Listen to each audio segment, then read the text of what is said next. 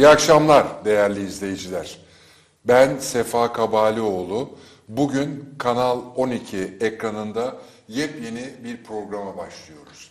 Finansal Bakış. Hepiniz hoş geldiniz. Ben ve ekip arkadaşlarım sizi sevgi ve saygıyla selamlıyoruz. Bu programda sizlere güncel ekonomik gelişmeleri, finansal eğilimleri ve yatırım fırsatlarını analiz edeceğiz. Günümüz dünyasında ekonomi her zamankinden daha karmaşık ve dinamik bir hal aldı. Küresel piyasalardaki dalgalanmalar yerel ekonomiler üzerinde derin etkiler bırakıyor. Bu nedenle finansal konularda doğru bilgiye ve analize olan ihtiyaç hiç olmadığı kadar önemli bir hale geldi. Biz finansal bakış ekibi olarak bu ihtiyaca cevap vermek ve izleyicilerimize sağlam bir finansal perspektif sunmak için buradayız. Uzmanlarımızın derinlemesine analizleri ve sektör liderlerinin görüşleriyle finansal kararlarınızı bilinçli bir şekilde almanıza yardımcı olmayı amaçlıyoruz. Yatırım yapmak birçok insan için karmaşık ve belirsiz bir konu olabilir.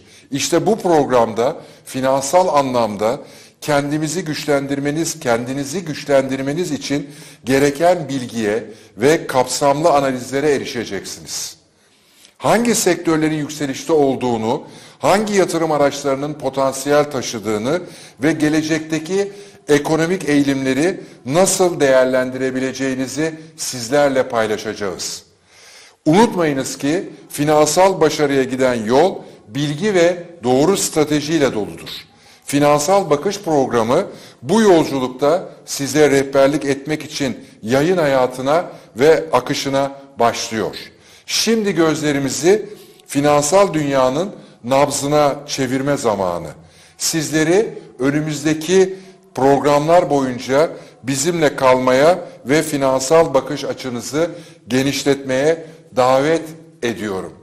Bu amaçla da size bu program boyunca iyi seyirler diliyorum.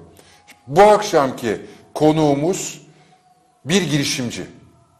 Abonesepeti.com'un yaratıcısı, kurucusu ve bugünlere getiren ve hala Abonesepeti.com'u daha ileriye taşımak için ciddi bir çabası içerisinde olan Deniz Okumuş. Deniz Bey hoş geldiniz. Hoş bulduk Sefa Bey. Teşekkür ederim. Nasılsınız? Girişimci her zaman pozitif olmak zorunda. Evet doğru. Ama kelimesini konuşmayacağız hiçbir zaman. Evet. Ama bizim hayatımızda yok. Yani iyi bir iş fikrim var Evet. ama bu iş fikrini hayata geçirebilmek için yeterli sermayem yok cümlesini kurmayacağız. Çünkü ama kendisinden önce gelen cümleyi öldüren bir kelime. Doğru mu? Kesinlikle doğru. Evet.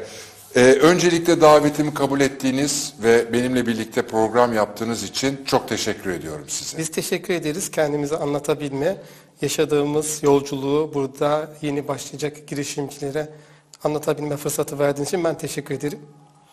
Ben e, bir fırsat girişimcisiyim. E, üniversiteyi bitirdikten sonra iş bulamadığım için girişimci olmuş ve bu yolculukta girişimciliği deneyerek öğrenenlerden biri olduğum için edindiğim deneyimin kıymetli olduğunu düşünüyorum. Beni davet eden her kim olursa olsun gönül rahatlığıyla koşarak gidiyorum. Ee, biz e, başarılarımızı topluma eğer anlatmayacaksak, e, topluma bir katkımız olmayacaksa sadece kendimize başarımız olur ve hava atmaktan başka bir işe yaramaz. O yüzden e, bu deneyimi toplumla da paylaşmamız gerektiğine inanıyorum. Özellikle bizim gibi toplumlarda. E, girişimcilerin rol modelleri, e, ve motivasyona ihtiyacı var. Bir yerden başlamak istiyorlar, bir kıvılcıma ihtiyacı var. E, başarılı girişimciler veya başarısız girişimciler, yani başarı sadece paraya e, ile ölçülüyor ama aslında öyle değil. Her girişimin bir yolculuğu var. Başarı dediğimiz bir yolculuk. Bir yere e, e, varar, varırken öğrendiklerimiz gibi bakabilirsiniz. E, bu yolculuğu başarılı veya başarısız olduğunuz bütün yolculuğu anlattığınız zaman oradan çok güzel dersler çıkıyor. Kitaplarda yazılanlar gibi değil gerçek hayat. Yani biz birçok şeyi kitapta okuyoruz. Ben daha sonra işletme master'ı yaptım mühendislik eğitiminden sonra. Çok sonraları yaptım. Çünkü çok gol yedim, çok acı çektim. E, bir şeyleri yanlış yaptığımı fark ettim. bunun eğitimini alayım diye gidip işletme dinamikleri üzerine eğitim aldım. Ee, o noktaya kadar e, sezgilerimle hareket ediyordum. Aslında verilerle hareket etmek gerekiyormuş. O verilerin gücünü e, alınca e, başarı da kaçınılmaz oluyor. E, böyle giriş yapalım. Şimdi zaten size ilk sorum nasıl girişimci oldunuz diye soracaktım Öyle ama mi? siz bunun cevabını verdiniz. Dediniz ki üniversiteyi bitirdikten sonra inşallah iş bulamadığım için Evet. ben girişimci oldum dediniz. Aslında sorunun cevabını verdiniz. Bir nokta var. Çok güzel bir şey söylediniz. Siz bir elektrik mühendisisiniz ve Elektronik mühendisiyim. E, elektronik mühendisiniz ve ondan sonra üzerine işletme okudunuz. Evet. Doğru mu? Bu çok önemli. Mesela ben işletme iktisadi enstitüsü mezunuyum. Normalde iktisat fakültesi mezunuyum. Üzerine e, işletme iktisadi enstitüsünde işletmecilik ihtisas e, master'ı yaptım.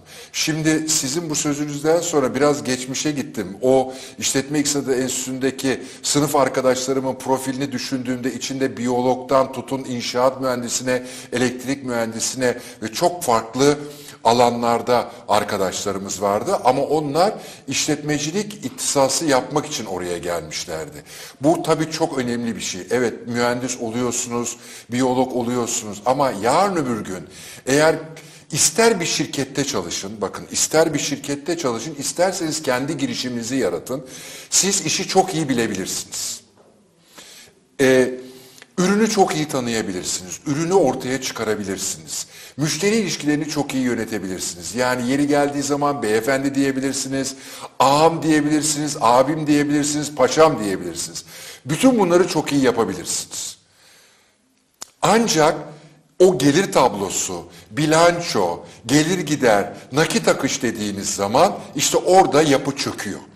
Çok böyle tecrübeler var. Yani hayatımda o kadar çok gördüm ki ürünü çok iyi tanıyor, müşteriyi çok iyi biliyor, müşterinin ihtiyaçlarını çok iyi biliyor ama Finansal okur yazar değil. ama 100 lira alıyor, yaşanmış bir şey söyleyeyim size, 100 lira tahsilat yapıyor. Ama götürüyor o 100 lirayla araç alıyor. Halbuki o 100 liranın size bilançolardan söyleyeyim. 68 ile 72 lira arası üretilen malın maliyeti. Üzerinde 12 lira civarında genel yönetim giderleri var. Onun üzerinde bir 3-4 lira finansman giderleri var. Baktığınız zaman o 100 liranın sadece 3-4 lirası o da bugünkü bilançolarda yok artık. 3-4 lirası kar. Yani siz ancak 3-4 lirayı bir yere koyup o belirli bir rakama geldiğinde yani 100 liraya geldiğinde onu 100 liraya gelebilmesi için bir 24 ay civarında bir süre geçmesi lazım. Ama işte onu bilemiyor. 100 liraya aracı alıyor bir bakıyorsunuz 2 ay sonra araç ortada yok. Niye? Çünkü nakit akış yürümedi o aracı satmak zorunda kaldı. Şimdi Nasıl girişimci olduğunuzu açıkladığınız için şunu soracağım. Girişimcilik, girişimci ruh ve girişimci nedir, kimdir? Ee, şöyle bakıyorum, ee, bir zorunluluğunuz olacak. Yani şöyle düşünün, sıradan bir adamı, sıra dışı bir kahramana her ne dönüştürüyorsa, o güdü neyse, içeriden gelen güdü neyse, kahramanlara baktığınızda, girişimciler de bence birer kahraman. Çünkü çok bilinmeyenli bir alana dalıyorsunuz. Cesaret hırkasını giymeniz gerekiyor. Ee, hesap etmediğiniz bir sona gidiyorsunuz. Başarılı da olabilirsiniz, başarısız da olabilirsiniz. O başarısızlık senaryolarında ki e, o en kötü senaryoya hazır olacak bir ruh yapınızın olması lazım. Hani okyanusa açılmak gibidir girişimcilik. E, bu yüzden kahramanlar diyorum. O kahramanlar e, sadece işi idare etmeyeceklerdir. O ekibi oluşturacaklar. Ekip e, o takımı birlikte çalıştırabilme beceri setine sahip olması lazım. E, ve en e, kritik olan bu insan denen faktörün değişen ihtiyaçlarına göre e, kendisini konumlandırabilme e, bilgisine sahip, biraz donanım gerekiyor. Bilgi, ilim sahibi insanlar oluyor. Yani buna hazerfan diyorlar. E, her alandan bilgi sahibi olabilirseniz, kendinizi bu konuda beslerseniz o zaman çok iyi bir lider oluyorsunuz ve ekibinizle beraber siz de büyüyorsunuz. E, girişimcinin çok çalışkan olması başarıyı getirmiyor fedakar olacaksınız. Yani veren girişimci oluyor. Alan adamdan girişimci olmaz. Bu vermekten bahsettiğim zamanını verecek, e, ünvanını paylaşacak, o, o koltuğunu paylaşmak, makamı paylaşmak, delege etmek, e, e, mikro değil de makro yönetimi yapabilecek hale gelmek, büyük fotoğrafı görebilmeniz gerekiyor. E, ama e, büyük şirketlerin tepe yöneticilerinin aksine, çünkü ben iki sene Motorola'da e, yöneticilik yaptım, orayı biliyorum. E, girişimci daha biraz detaya iner yani satış yapar, satın alır, e, borç alır, fatura keser, para bulur, ödemeler yapar, keşfeder, yenilik yapar, değiştirir, e, risk alır, karar verir ve bunları her gün yapar. İşte bunları yapabilmeyi göze alıyorsanız, bu ateşten gömleği giyebiliyorsanız girişimcisiniz. Bu yüzden öne çıkıyorsunuz. Ee, sizin ve ekibinizin de yani birilerinin de sizin peşinizden gelebilmesini sağlayan tek şey e, gerçekten bu kadar beceri setiniz var ve o kadar insanla da eş zamanlı konuşabilecek e, dilinizin olması lazım. Yani tatlı dil, biraz esneklik istiyor girişimcilik. Yumuşak sertten daha güçlüdür diyorlar ya. Ee, ne kadar esnekseniz e, ikliminizde o kadar çok farklı e, insan ye- yetişebiliyor. Ee, çok katı kurallarınız, çeperleriniz, duvarlarınız varsa e, her e, lezzetten ya da her bilgiden e, insanı bir arada çalıştıramıyorsunuz. Startuplar bizim gibi startuplar e, kurumsal değildir, durumsaldır. Biz o duruma göre sürekli karar değiştirebiliriz ve buna adapte olabilecek e, e, insanların e, ya da arkadaşların bizimle çalışması onlara da çok iyi geliyor. Bize bir okul gibi startuplardan bahsediyorum. Ben Kobi'lik de yaptım biliyorum. Kobi'yi para kazanmak için açıyorsun. E, belli yani e, sonuç belli. Ama startuplarda bir endüstriyi dönüştürmek için yapabilirsin. Yeni bir fikri hayata geçirmek için yapabilirsin. Ee, abonelik daha önce yok muydu? Vardı. Offline olarak yapılıyordu. Yani gidiyorsun e, perakende, bütün e, markaların perakende noktalarında aboneliğini başlatabiliyordun. Ama dönüşen, dijitalleşen bir dünya var. Bu dünya ile beraber abonelik endüstrisi de dijitalleşiyor. Son 7 yılda abonelik endüstrisi %350 büyüdü. Gelecek 2 yılda da %100 büyüyecek. Bu kadar dijitalleşen, büyüyen bir endüstride artan aboneliklerimizi takip edemiyoruz, kontrol edemiyoruz, yönetemiyoruz. Bunlar için bir uygulamaya ihtiyaç vardı. Abone sepeti fikri buradan doğmadı. Ben bu endüstrinin içindeydim. Yani abone sepetinden önce var olan girişimimde zaten bütün markaların perakende kanallarında ben çalıştım. Oradaki sorunları biliyordum, fotoğrafladım, acıları gördüm, kullanıcının çektiği sıkıntıları gördüm. Bunları dijitalde çok daha kolay yapabileceğimizi fark ettim. Aslında bu hikayenin e, korunda yani mesela bana diyorlar ki nereden başlayayım? Neyin içindeysen oradan başlatıyorum. Çünkü en iyi bildiğin yerden başlarsan oradaki müşterinin ihtiyacını bilirsin. Yani kime satacaksın? O kimi bir tanıman lazım. O kim ne kadar büyük değil mi? Ve hangi sıklıkta senden bu işlemi yapacak ki para kazansan? Yani bir fikir var ama bunu da ticarileşmesi için bir finansa dönmesi lazım. Yani güne, günün sonunda paraya girmek zorundasınız. Başarı dediğiniz şey, baktığımız bütün başarı hikayelerinde e, finansını, finansına bakıyoruz. Yaşadığı zorlukları, acıları, e, aştığı bariyerlere hiç, hiçbirimiz bu hikayelere bakmıyoruz. Şirketin değerine bakıyoruz. O şirketin o değerine ulaşması için e, fikrin e, toplumda ya da pazarda karşılık bulması lazım. E, pazar ürün e, ürün uyumundan bahsediyoruz. Başka konulara da girmiş olabilirim. E, yo gayet güzel. Şimdi girişimcinin dikkate alması gereken hususlar nelerdir? Biraz önce girişimcilik, girişimci ruhu açıklarken aslında orada e, şöyle bir şey söylediniz. Girişimci, girişimcilik aslında iyi bir ekip kurma, o ekibi iyi bir koordine etme becerisini bünyesinde barındırıyor. Birazcık ipucunu verdiniz. Şimdi onunla bağlantılı şunu söylüyorum. Girişimcinin dikkate alması gereken hususlar nelerdir? Ee, ben yolculuğuma e, kurarken yalnız başladım. Yolculuk sırasında da iki tane kurucu ortak ekibime dahil ettim. Ee, girişimci e, biraz deneyimli bir girişimci olduğum için daha daha önce çok birkaç tane şirket kurdum, kapattım. Bir tanesi çok büyük bir batağım var, batırdım. Abone sepetine girirken bu deneyimlerimle geldim. Aslında ben bu yaşadıklarıma üzülürken bir şey oldum. Aslında bunlar bizi bir şeye çeviriyor, dönüştürüyor. Yaşadıklarımız, kendi yaptıklarımız, kendi, gergef gibi geleceğimizi kendimiz aslında inşa ediyoruz. Girişimcinin mücadele ruhu olacak, evet. Tutkulu olacak, hırslı değil, hırs hata yaptırıyor. Ee, fakat benim öğrendiğim bir şey var. Doğruluktan asla vazgeçmesin.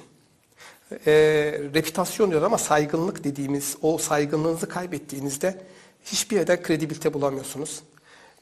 O saygınlığınız varsa doğruluk üzerine, zemin üzerine siz işinizi inşa ediyorsanız hayat diyor ki evet diyor burada olmadı, olmayabilir, doğru okumamışız. Yani pazar ürün, ürün uyumuna bakmadan orada bir aksiyon almışım. Sezgilerimle hareket etmişim ya da fazla kendi bilgime, birikime güvenmişim. Aslında öyle değil. Gidip o pazarı çok iyi analiz etmek lazım. Olmadı ama senin o doğruluğun başka bir kredi kapısı ya da başka bir e, tarafından yeniden keşfedilmene ve büyümene e, sağlıyor. E, cesaret hırkasını giyecek, el alem ne der korkusunu kesinlikle duymamak lazım. Biraz kulakları bu konuda tıkamak lazım.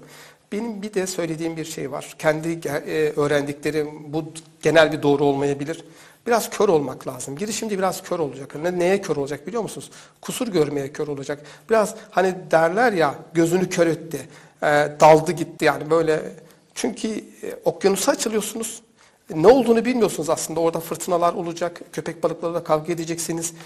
Çok büyük bir mücadeleye gireceksiniz. O bir cesaret istiyor ya. Karanlık bir limanda yola çıkıyorsunuz bir gece yarısı. Ve karşılaşacağınız hiçbir şey bilmeden gidebilmek için biraz bilgi sahibi olmanız lazım. O endüstriyi bileceksiniz.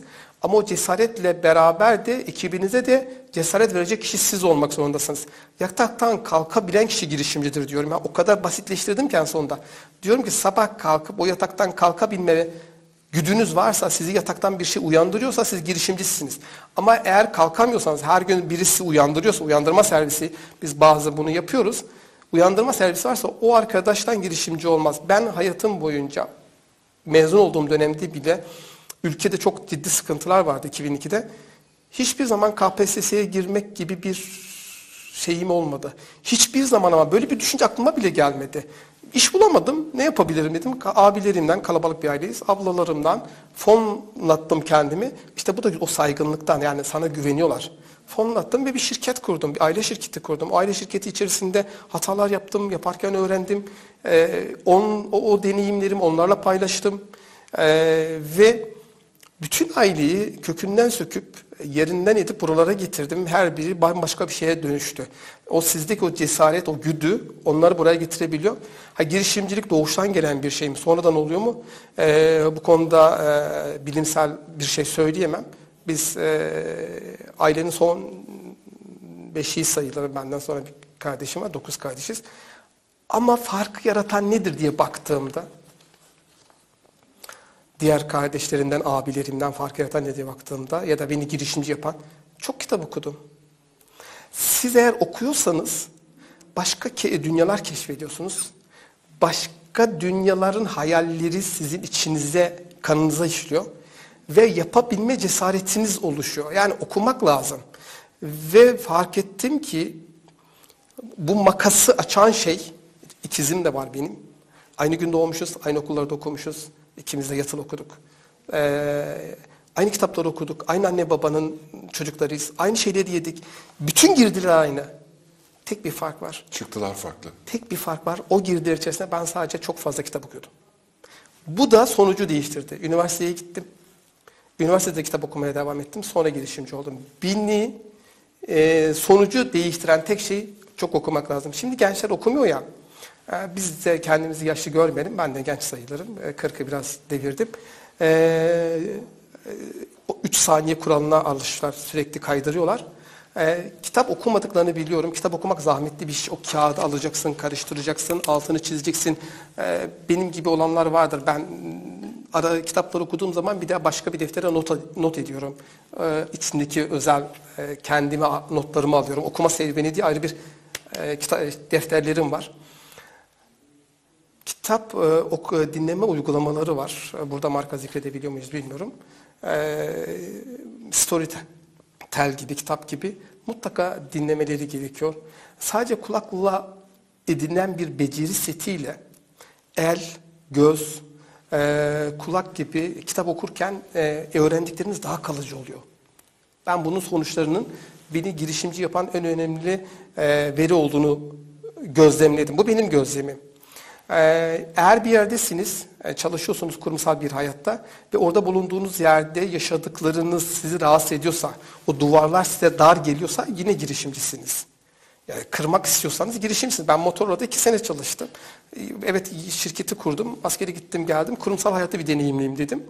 Ee, O zaman e, 2005-2007 yıllar arasında Motorola Türkiye'deki devdi. Yani o zaman Apple diye bir şey yoktu. Nokia vardı, Motorola vardı, Ericsson vardı. O kural setleri, kurumsalın kural setleri, e, kalıpları e, benim yapıma uygun değildi. Ya ben erken girişimciliği keşfettim, ondaki o lezzeti aldım. Doğal olarak e, istifa edip çıktım. Yeniden bir şirket kurdum, yine ailemin desteğiyle. Orada çok fazla şirketler kurduk. E, kendisinde yetenek gördüğüm, ışık gördüğüm her çalışanımla yeni bir proje yaptım. Bazılarını fail ettik, batırdık. Bazılarını çok güzel bir hale getirdik. E, ortağıma sattım, exit diye denir bu e, bu literatürde. E, e, abone sepetinden önce de bütün birikimimle beraber dedim ya okumaya aşırı düşkünlüğüm var. Bu yüzden bir koleje yatırımcı olarak gittim. Her şeyimle oraya e, adadım, yatırdım. Sonuç alamadık, batırdık. Olmadı çünkü orada sezgilerimle gittim. E, ne kadar güçlü olursak olalım, eğer zaaflarımızı koruyamıyorsak kaybedenlerden oluyoruz. O zaaflarımızı çok iyi bilmek lazım. Bizim e, zayıf noktamızda daha çok veriye gidip bakmak lazım. Ben gidip bakmadım. Ne finansallarına baktım, ne borçlarına baktım, ne okulun... e, O zaman şöyle yapalım. Heh. Şimdi siz bundan evvel abone sepetinden önce bir şirket, bir yatırım yaptınız, bir girişimde bulundunuz ve o girişimin sonunda battınız. evet, Para batırdınız. batırdım. Şimdi bizi izleyen, girişimci olmak isteyen ya da girişimci olmuş startup düzeyinde şirketi var olan insanların dikkat etmesi gereken başka bir şey var.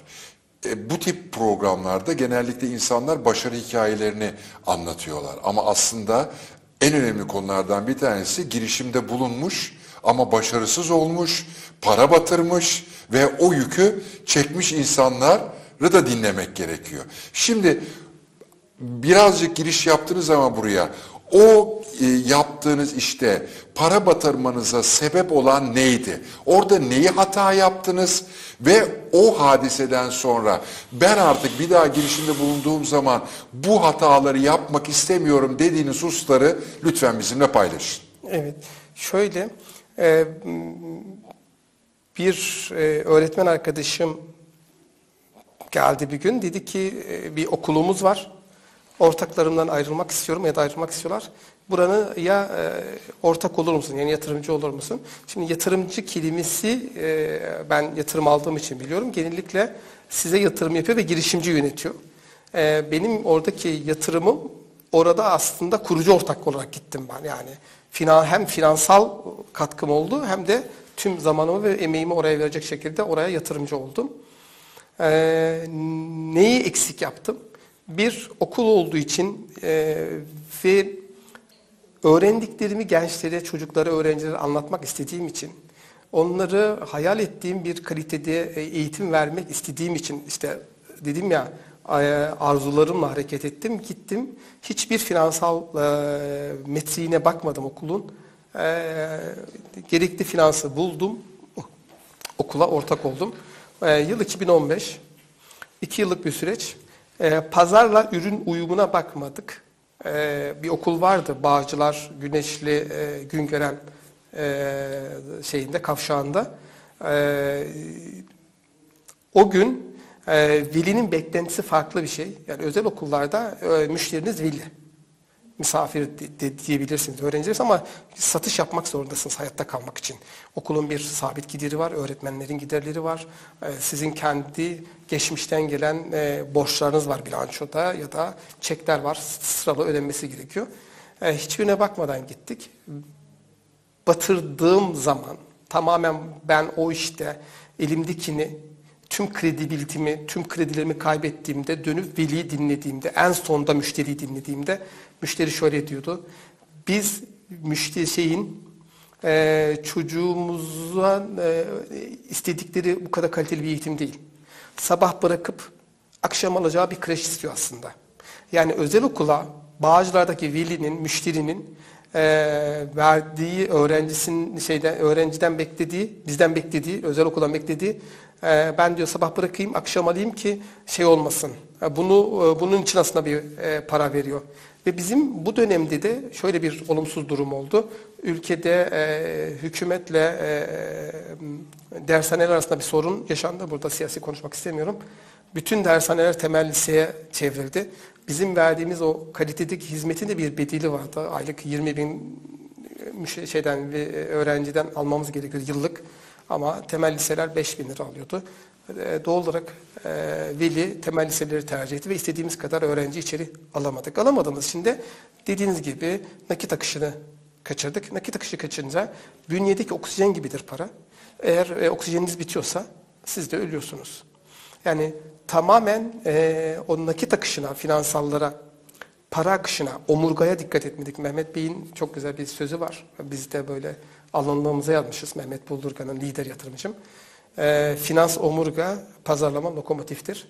Eğer omurganızı doğru kurgulamıyorsanız e, sonu e, işin e, bat- batmaya gidiyor. Ben bunu e, çok e, derin deneyimledim ve bu yükü de 4 sene sırtımda taşıdım. Oradaki o kalıntıları, kredi borçlarını e, bankaların e, yaptığım mücadeleler de var. E, şükür biraz e, şeyimiz vardı, birikimimiz, mal varlığımız vardı.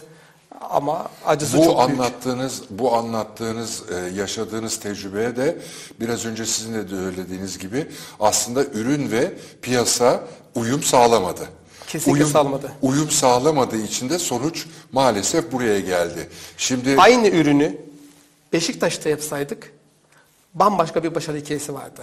Yani oy- o- oyunu bir oyun kuracaksınız ya. Oyunu kurmadan önce iklimine bakmak lazım. Ben şöyle diyorum. Uçaklar nasıl uçar diyorum. Tamam mı? Kanadı var, pilotu var, yakıtı var, eee, yolcusu var. Uçar mı? Her şey var. Uçmuyor. Niye biliyor musunuz? Hava koşullarına bakıyor. Eğer çevre koşulları, hava koşulları uygun değilse sizin o işletme için yaptığınız her şey bizim o kolejdeki batırdığımız hikayeye dönüyor. Önce aslında bir hava, de hava koşu- koşullarına direniyorsanız. direniyorsak daha kötü batıyorsunuz bizim gibi oluyor. E, bu burada isim vermemiz mümkün değil biliyorsunuz. Yani rüzgarın çok yüksek olduğu söyleniyor. E, sakın e, havayolu şirketinin ismini vermeyelim ama yani tam şimdi aklıma o geldi. Hava koşullarının olumsuz olduğu söyleniyor. Pisti pas geçildiğini söyleniyor daha önceki inişlerin. Ama direniyor ve direncinin sonucunda pistin dışına çıkıyor ve uçak e, kırıma uğruyor. Sonuç bu. Direnmeyeceksiniz bir de. Aynı Mehmet hikaye. Bey'in e, aynı hikaye. Mehmet Bey'in söylediği o finans omurga diyor ya. Evet. e, onu başka bir şey söyleyeyim. Şirketiniz çok karlı olabilir ama nakit akışınızı eğer doğru yönetemiyorsanız batabilirsiniz. Ve battığınız zaman da şunu ben çok karlıydım ama nakit akışınızı doğru yönetemediniz. Sefa Bey burayı biraz açabilir miyiz? Tabii. Nakit akışı kısmını. Siz biraz açabilir misiniz? Yani şunu söylemeye çalışıyorum. Şirketinizin gelir tablosundaki karlılığınız çok yüksek olabilir. Evet. Ama eğer tahsilatlarınızla ödemeleriniz arasında Bir gap varsa? denge yoksa, o döngeyi doğru düzgün sağlayamadıysanız şirketiniz batmaya açıktır. Zaten e, kongortota ilan eden firmaların birçoğu nakit akışını doğru yönetememekten kaynaklanıyor. Çünkü siz Fatura bak- kesmiş, siz- alacaklı. Şöyle söyleyeyim size. Eğer siz alacak bakın Türkiye'de şimdi başka bir yere girdik. Çok teknik bir konu olacak ama yani bunu özellikle söylemek istiyorum. Şimdi iş başka bir yere geldi. Şimdi faaliyet devri ve nakit dönüşüm süresi denen iki tane kavram var. Bir tanesi şu. Şimdi alacaklarınızın tahsis süresi, stoklarınızın tüketilme süresi ve bu ikisi nakit dönüşüm süresi. Faaliyet devri ise nakit dönüşüm süresinden ticari borç ödeme süresini çıkarttığınız anda da o sizin faaliyet devriniz oluyor. Ne demek bu? Şimdi alacaklarınızın bir tahsis süresi var. Alacaklarınızı örnek veriyorum 120 günde tahsil ediyorsunuz. Stoklarınızın da tüketilme süresi 30 gün. Toplamı ne yaptı? 150 günde nakdinizi çeviriyorsunuz. Doğru mu? Evet. Bir mal ürettiniz. Değil mi? Evet, evet. Bunun stokta bekleme süresi 30 gün. Malı ürettiniz, ambalajladınız ve ambarınıza koydunuz, stoğunuza koydunuz. O stok 30 gün sonra fatura kesiyorsunuz ve müşteriye satıyorsunuz. Piyasada yer edinebilmeniz için de piyasa şartları, piyasa şartları eğer 150 gün vadeyle satmanıza e, imkan veriyorsa, eğer 150 gün vadeyi veremediğiniz zaman satış yapamıyorsanız satış yapıyorsunuz. Değil mi? Vadeli satış yapıyorsunuz. Nakit dönüşüm süreniz ne oldu? 30 gün stokta bekledi. 120 günde alacağınızı tahsil ettiniz. O da tahsil edebilirsiniz 150 gün. Ama faaliyet devri dediğiniz zaman nakit dönüşüm süreniz 150 gün ama ticari borç ödeme süreniz 30 gün. Ticari borç ödeme süreniz 30 gün. Ne demek bu? Yani siz paranızı 150 gün sonra tahsil ediyorsunuz 30 ama borçlarınızı 30 gün sonra ödemek zorundasınız. Personel Burada maaşları. Vehbi Bey'in bir lafı var. Yanılmıyorsam Vehbi Koç'un bir lafı var. Vehbi Koç diyordu ki alacaklarımızı geç tahsil edebiliriz. Ama borçlarımızı vadesinde ödemek zorundayız diyordu. Şimdi siz ne dediniz? Ee, güven ve prestij çok önemli dediniz. Güven, yani onu şöyle, tecrübelerimi şöyle açıklayayım. Güven nasıl sağlanır? Ticari hayatta piyasaya verdiğiniz güven nasıl sağlanır? Çok net söyleyeyim. Bir kere kaliteli ürün yapacaksınız. Ama varsayalım ki ürününüzde bir hata çıktığı zaman satış sonrası hizmetinde hiçbir zaman eğer nihai tüketiciye ürün satıyorsanız satış sonrasında asla tüketiciyi mağdur etmeyeceksiniz. Bir. İki, e, verdiğiniz sözleri tutacaksınız. Dediğin gibi alacaklarınızı geç tahsil edebilirsiniz ama ticari borçlarınızı zamanında ödeyeceksiniz. Ben size o kadar çok örnek gösterebilirim ki 100 bin liralık sermayeyle kurulmuş şirketlerin aktif büyüklüğü 10 milyon, 20 milyon, 30 milyon. Niye? Şirketin sahibi piyasadaki itibariyle itibarı ile stoğunu değil mi aktif büyüklüğünden neyi kastediyorum? Hazır değerleriniz var değil mi? Bir de bir yıldan kısa vadeli duran varlıklarınız var. Öyle değil mi? Stok Evet. yapmış, alacak yapmış ve aktif büyüklüğünü 10 milyona 20 milyona büyütmüş. Ama bir bakıyorsunuz sermayesi 100 bin lira. Onun için o güven önemli. O nakit akış da çok önemli. Yine sizin e, anlatımlarınızı yine bir cümleyle söyleyeceğim. Robert Bosch ne diyor? Ben diyor Para insanların güvenini kaybetmektense Para para, kaybı. kaybetmeyi tercih ederim diyor. Demin söz dediniz ya Coca-Cola'nın efsanevi CEO'larından Muhtar Kent de şöyle diyor marka için. Marka müşteriye verdiğiniz sözdür diyor. O sözü yerine getiriyorsanız markalaşıyorsanız. Yani o sözü yapıyorsan artık marka oluyorsun. İnsanlar aslında size at güvenebiliyorlar. Güven bu kadar kıymetli. Bütün her şey güven üzerine inşa ediliyor. Hayatın sermayesi güven girişimcinin de bence hani bir formülü varsa güven çarpı diğerleridir. Yani dayanıklılık, kaynaklara erişim, liderlik, eğitim, e, takım çalışmasına yatkın olması, e, sürekli öğrenen biri olması. E, şeyden önce de beraber konuştuk ya. Bu yaşımdayım ama her gün öğreniyorum, öğrenmeye devam ediyorum. Öğrenmek, öğrenme tarafınızı kapattığınız zaman e, liderlik tarafınızda öldürüyorsunuz. E, 18-22 yaşında e, öğrendiklerinizle, bir diploma alıyoruz ya öğrendiklerimizde, 40 yıllık iş hayatımız o bilgilerle yönetmiyoruz ki. O bilgiler 4 sene sonra yenisiyle refresh etmek zorundasınız. Öğrendikleriniz aslında yeni bir diploma alıyorsunuz. Hayat sizi her an kariyer değişikliğinde yeni diplomalar veriyor. Ee, ben e, kendi deneyimimle söyleyeyim. Ben mühendislik eğitimi aldım. Ee, 4 sene sonra artık orada aldığım bütün eğitim bitmişti. Yaptığım işlerden öğrendiklerimle üstüne koyarak başka bir şeyler yapmaya devam ettim. Öğrendiklerimi üstüne koyarak başka bir şey dedim. Ama orada öğrendiğim o disiplin e, yeni şeyler öğrenebilmemi sağlıyor benim. Ya da bizim öyle bakmak lazım. Gazi Mustafa Kemal Atatürk ne diyor? Benim cebimde iki kuruş varken bir buçuk kuruşunu kitaplara verdim diyor. Ve bugün yaptığım her şeyi okuduğum kitaplara borçluyum diyor. Birincisi bu. İkincisi şöyle bir şey söyleyeceğim. Benim tüketici hakları e, konusunda da e, uzun yıllardır çalışmalarım var. Şimdi size şöyle bir şey söyleyeceğim. Eğer bir dükkandan, basite indirelim Evet, konuyu. kesinlikle. Eğer dükkandan birisi giriyorsa, eğer siz ona müşteri değil tüketici gözüyle bakıyorsanız kaybetmeye mahkumsunuz. Açayım, Müşteri Açayım. tüketici evet. açayım. Tekrar söylüyorum bakın. Dükkanı açtınız ve dükkanın içeriye birisi girdi. Siz ona müşteri değil, tüketici gözüyle bakıyorsanız kaybetmeye mahkumsunuz. Bunu açmam lazım. Evet. Çünkü bizi izleyen izleyicilerimiz bu söylediğimi çok yanlış anlayabilir. Neden biliyor musunuz? Çünkü müşteri dediğiniz zaman şöyle. Şimdi esnaf diyor ki Deniz Bey benim müşterimdir diyor. Güvenerek bir şey oluyor. Diyor ki Deniz Bey gelir benden mal alır diyor. Benim müşterimdir Deniz Bey diyor.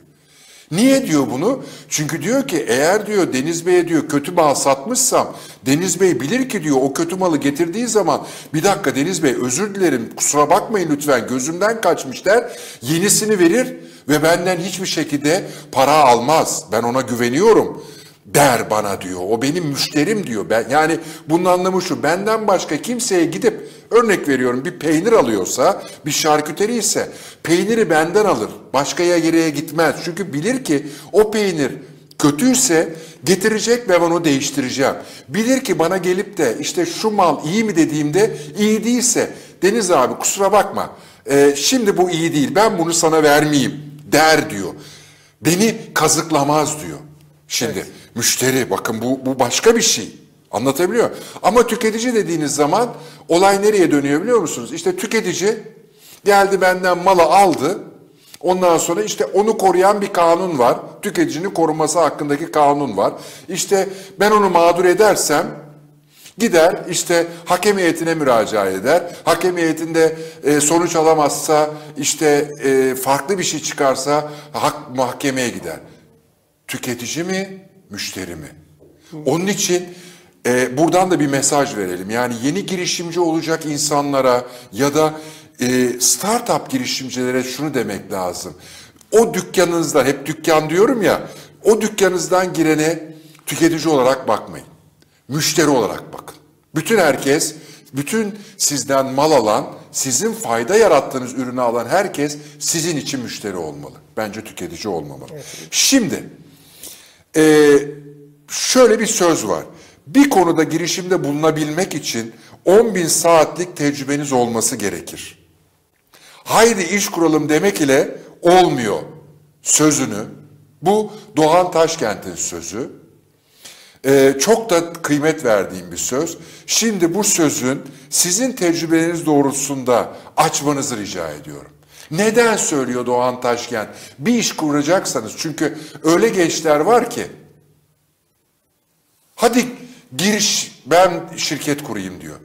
Girişimci olmak başka bir şey, girişmek başka bir şey. Girişmenin sonucu hüsran ama girişimci olmanın sonu çok başka bir yer. Şimdi sizi söze bırakıyorum. Niye 10 bin saatlik tecrübeniz olması gerekir diyor. Bakın aslında e, bununla alakalı e, sözün başında da söyledim. E, eğer bir endüstri içerisinde, bir sektörde yeterince zaman harcamamışsanız, onun inceliklerini, sırlarını, artılarını, eksilerini bilmiyorsanız, sadece bir fikirle yola çıktığınızda demin söylediğiniz gibi hüsranla sonuçlanacaktır. 10 bin saat, e, yanılmıyorsam çizginin dışındakiler diye kitapta da bu anlatılıyor. Outliners diye bir kitap var. Girişimcilerin okumasını öneririm. Sizi uzmanlaştırıyor. Bir şeyde uzmanlaşmak ne demek biliyor musunuz? Uzmanlaştığınız zaman e, madalyonun arka tarafını da görüyorsunuz. Sadece ön tarafı değil. E, ayın karanlık tarafını görebilmenizi sağlıyor. Doğal olarak yolculuğa çıktığınızda demin sizin dediğiniz gibi e, sadece maçı kazanmaya odaklanmıyorsunuz. Şampiyon olmaya odaklanıyorsunuz. İkisi arasında fark var. Biri günü kurtarma odaklıdır. Biri geleceği kurtarma odaklıdır. Aradaki farkı anlayabilmek için uzmanlaşmanız lazım. Bu yüzden e, bir girişime ya da bir fikri yakaladınız, bir sektörde bir fikri yakaladınız, gidip o sektörün içerisinde girip çalışmanız lazım. Ben çevremde e, çok e, girişimci arkadaşlarım var. Bu endüstri şeyin içinde, ekosistem içerisinde olduğum için söylüyorum. E, hepsini dinlediğimde görüyorum ki aslında e, şeyinden geliyorlar. Yani onu o suyun akışında o musluğun içinden geliyorlar. Ee, baba e, dükkan işletiyorsa, e, çocuk o dükkanın içerisinde babasıyla beraber bunu öğreniyor ya, e, eğitim alsa bile döndüğünde orayı işletebiliyor. Çünkü onun deneyimini alıyor. E, ürün nasıl satın alınır onu biliyor. Satın alma ayrı bir becerisi de. Müşteriyle nasıl yaklaşacağını biliyor. Demin söylediğiniz ya bazısına abi diyecek, bazısına hanımefendi diyecek, bazısına ağam diyecek, bazısına paşam diyecek. Yani esnaflık aslında o esneme sanatından. Gülme bilmiyorsan dükkan açma. Çok eski bir ariflerin sözüdür. Ee, e, dükkan açabiliyorsan gülebilmeniz lazım. Her gelene onunla konuşacak dili biliyorsanız e, onlar artık sizin müşteriniz oluyor. Yani onunla o iletişim kurabiliyorsanız. Ee, az evvel e, başlamadan önce de söylemiştim size. İngilizlerin bir lafı var. Connectivity is productivity diyor. O iletişimi doğru kurduğunuz zaman verimlilik de artıyor. E, iş sonucuna yansıyor, finansallarınıza yansıyor. Tamamen o dili bilmek. Bu dil yabancı dil değil, gönül dili. O kişinin e, nerelisin diye sorarlar esnaflara gidin. Bakın hepsi bunu yapıyor. Abi nerelisin diyor. Memleketini söylüyorsun. Hemen orayla alakalı senin gönlünde seni yakalamaya çalışıyor. Seninle o bağı yakaladığında e, hemen bir çay ikram ediyor. Tamam mı? O çayın, o suyun, o muhabbetin hatırına biz ne yapıyoruz? Oradan hiçbir şey almasak bile bir kalem alıp çıkıyoruz. Çünkü bizi yakalıyor. İkna teknikleri eğitimi almış değiller bunlar. Bunlar akışında o satış eğitimini öğrenmişler. Akışında öğrenmiş bunu. Gidip bir ikna tekniği e, e, Robert e, kitabın ismini hatırlayacağım. İkna'nın Psikolojisi diye bir kitap var. Muhteşem. E, hatta iknanın e, psikolojisinde altı tane prensip anlatılıyor. Esnaflarda gidin bu altısını yapıyorlar. Ama hiç bilimsel olarak bunun eğitimini almış değiller. İçgüdüsel yapıyorlar. Bu da e, şeyi getiriyor, o başarıyı getiriyor. Deniz Bey, sizin bu sözünüze çok basit bir şey söyleyeceğim. Ee, bir, bir kuruluş var. Oraya gidiyorsunuz, bir takım mamuller alıyorsunuz. Çıkarken kasayı kasiyer e, koltuğunda oturan genç kızlara bir şey öğretmişler. Her ödemeyi aldıktan sonra müşteriye Allah bereket versin efendim deyin demişler. Ben size bir şey söyleyeyim mi? Ee, Ben ödemeyi yaptıktan sonra Allah bereket versin efendim dendiği zaman inanın bana o kadar çok hoşuma gidiyor ki. Ve ben Sen- seni bir bağlıyor değil mi? oraya? bakın benim o kadar hoşuma gidiyor ki ama öyle bir başka bir yere giriyorsunuz. e, alışveriş yapıyorsunuz. Ne gülüyor. Bakın ne gülüyor. Anlatabiliyor muyum? Bir şey sorduğunuz zaman ters cevap veriyor. Ödeme yapıyorsunuz. Ödeme yaptıktan sonra da ne teşekkür etme var ne bir şey var. Yani siz oradan çıkarken diyorsunuz ki bir daha senin dükkanına gelirsem diyorsunuz. İş aslında o kadar basit ki. O iletişim var ya işte iletişim bu. Kapanış ne kadar önemli. Ne kadar önemli. Siz gidiyorsunuz markette bütün alışverişi yapıyorsunuz. Orada gördükleriniz her ne olursa olsun. Kasadaki kasiyerin bir sözü veya bir davranışı o işletmenin tüm emeğini belirliyor. Evet bu kadar. İnsan ne kadar kıymetli, nerede kimi kullanacağız? Evet. U- 10 bin saat bir e, konuda e, çaba harcamış, harcarsak uzman oluyoruz. Ama girişimci olamıyoruz. Uzman oluyoruz. Karıştırmayalım. Girişimcilik her yıl üniversiteden 10 bin saat eğitim alıp 4 yıl boyunca 4 yıl 10 bin saate tekabül eden eğitim alan çıkan uzmanlar var. %90'ı bir yere gidip sabit maaşlı çalışmayı tercih ediyor. Çünkü standart bir hayat yaşamak eee, hepimize kolay geliyor. Standart bir hayat yaşam. 9'da gireceğim, 6'da çıkacağım, hafta sonum olacak, bayram tatillerim olacak, yaz tatilim olacak. Bu standartlarda kariyer yapacak. Bu, bir, bu, bu, bu kötü bir şey değil. Sadece yüzde onu, belki yüzde onundan daha küçük bir kısmı e, okyanusa açılma cesareti gösteriyor.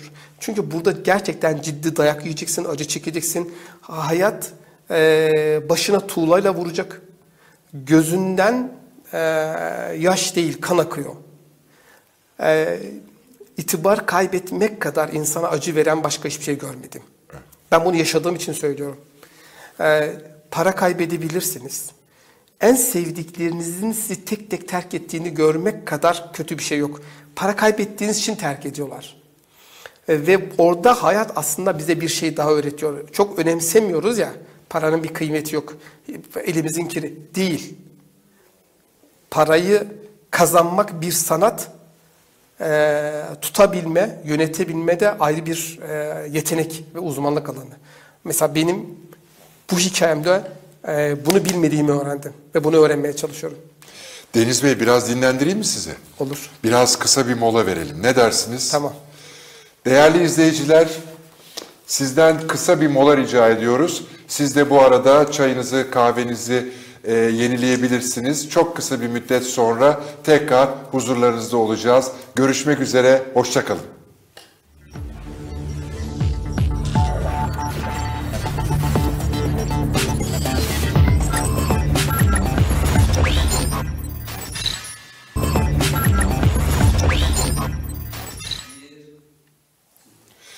Tekrar merhaba değerli izleyiciler. Programımızın ikinci bölümüne başlıyoruz. Konuğumuz bugün girişimciliği konuşuyoruz ve konuğumuz abonesepeti.com'un kurucusu, girişimci Deniz Okumuş'la birlikteyiz. Programın birinci bölümünde giriş, nasıl girişimci olduğunu, girişimcilik ruhunu, girişimcinin dikkat etmesi gereken hususları konuştuk. Şimdi ikinci bölümde biraz daha programın girişinde de belirtmiştim. Çok iyi bir fikrim var ve bunu ticarileştirmek istiyorum ama ama sermayem yok, yeterli naktim yok e, dediğimiz noktada işte o sermayeyi, o kaynağı nasıl bulacağız? O kaynağa ulaşmak için melek yatırımcıların karşısına nasıl çıkacağız? Melek yatırımcıların karşısına çıkarken nelere dikkat edeceğiz? İşte biraz daha e, bu detaylara gireceğiz ve Deniz Bey'le bu konuları konuşacağız. Şimdi Deniz Bey şu soruyu sormak istiyorum.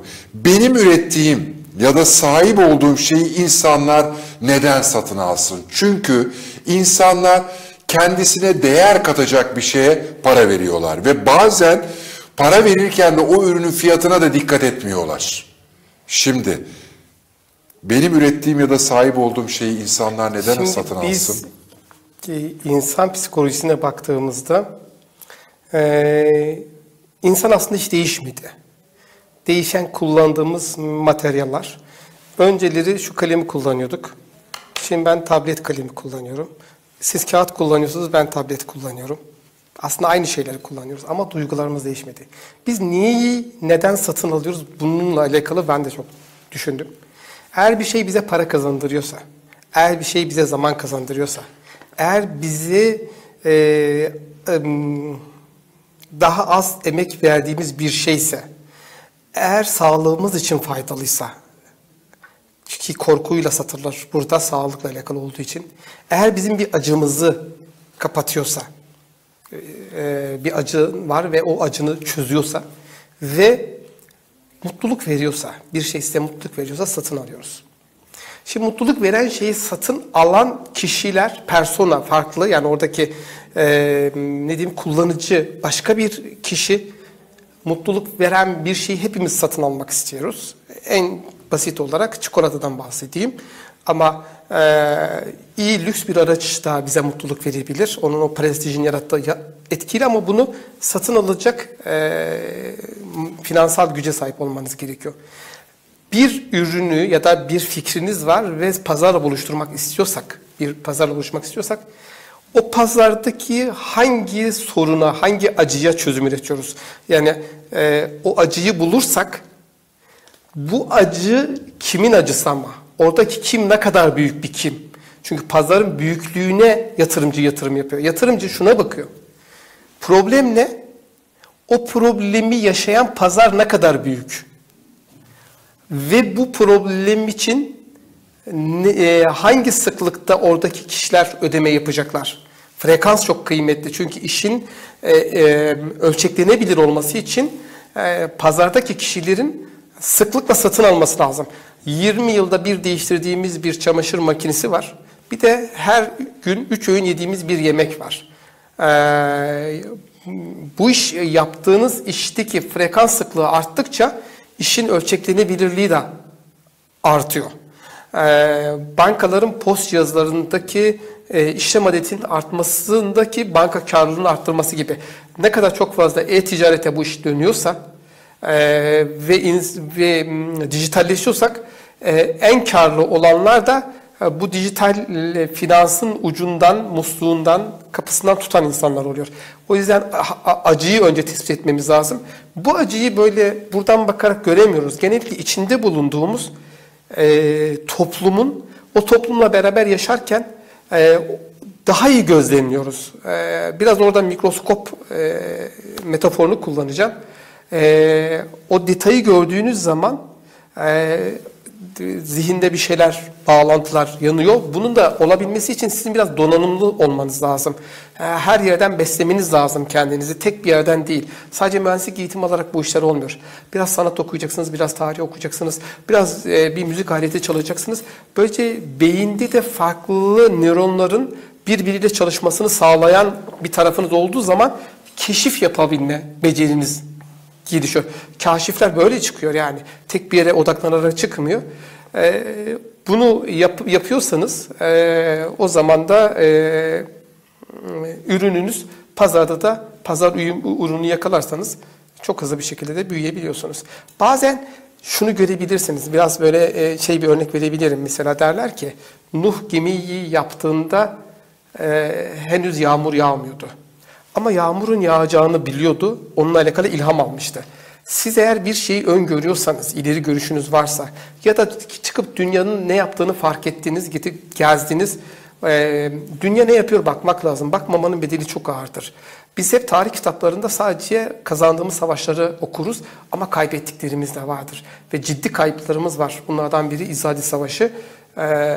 Sultan Murat zamanında yaşanıyor. Biz Allah Allah nidalarıyla gidiyoruz. Karşı taraf e, topla tüfekle geliyor. İlk kez o e, şeyin kurşunun kullanıldığı, barutun kullanıldığı savaştan bahsediliyor ve tanımadığı bir şeyle karşılaşıyor e, asker.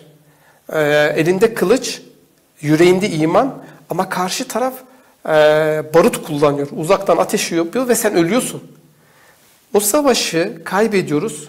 E, çetin hava koşulları, kış koşullardan dolayı asker dönüyor, onlar da dönüyor e, yerine.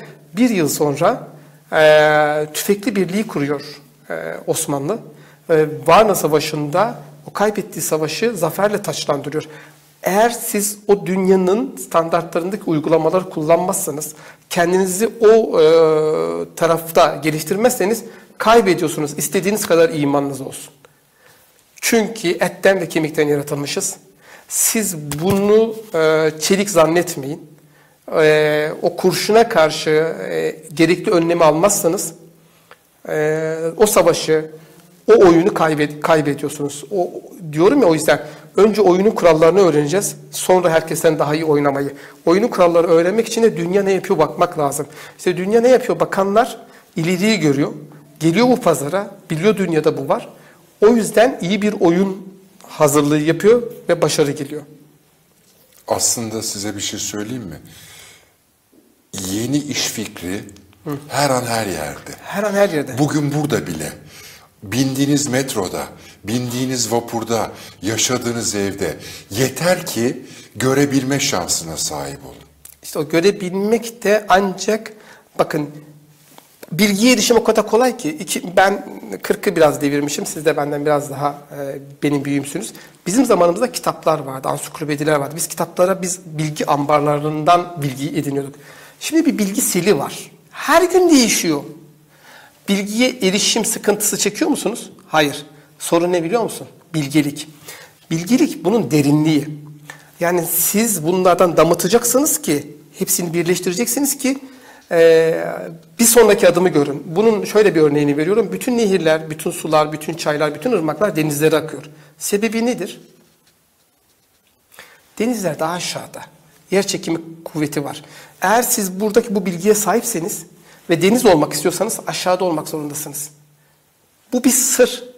Bu sırra sahip olmak için bu bilgiye, e, bunun e, keşfedilen bilgiye sahip olmanız lazım. Buna benzer çok fazla örnek verilebilir. Yani doğayı biraz gözlemlersek, doğayı biraz gözlemlersek doğa bize aslında o kadar çok şey fısıldıyor ki. Bir tohumu dan çiçek ya da meyve alacağız. Diyor ki önce gideceksin toprağa deşeceksin. O tohum ekeceksin, sulayacaksın, çapalayacaksın, gıdıklayacaksın, başında bekleyeceksin, güneşini vereceksin. Ondan sonra sana diyor şey ve filiz vereceğim, sonra yaprak vereceğim, sonra çiçek vereceğim, sonra meyve vereceğim. Bakın bir yolculuktan bahsediyoruz. Bir bu bunu bu bunu hayatın her yerinde yaşıyorum. Bir gözlemimi söyleyeyim size. Evet. 20-25 sene evvel dediğiniz gibi kitaplar vardı. Evet. Ve e, kalın kitaplardı bunlar. Onları okurken emek veriyorduk. Şimdi e, o dönemki insanlar bir sorduğunuz zaman doğru bilgiyi veriyordu. Çünkü Evet. o kitapları okuyorlardı. Evet. Şimdi bugünüz benim en büyük mesela tenkit ettiğim hususlardan bir tanesi aklınıza bir şey takılıyor. Arama motoruna yazıyorsunuz. Karşınıza 3 milyon 475 tane makale çıkıyor. Değil mi? Evet. 3 milyon 475 oku Allah oku. Her yönüyle oku bir de. Değil mi? Ama buna rağmen inanın bana kendisini geliştirmeyen, ezbere çalışan insanlarla doluyuz. Ben size söyleyeyim. Ben, Böyle- bir sonraki adım ne biliyor musunuz? Böyle de bir handikap var. Bu Yapay benim- zeka. Bu benim göz o da o daha kritik bir nokta. Evet. O daha kritik bir nokta ama ben size söyleyeyim bu kadar bilginin rahat erişilebildiği günümüzde maalesef insanlar kendilerini yetiştirmiyorlar. Derinlemesine okumuyorlar. Bir konuyu bir konuyu sadece tek yönlü okumak da önemli değil biliyor musunuz?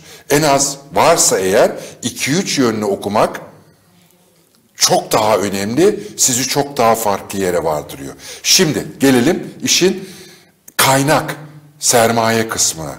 Finansal iş planı nedir ve ne kadar önemlidir?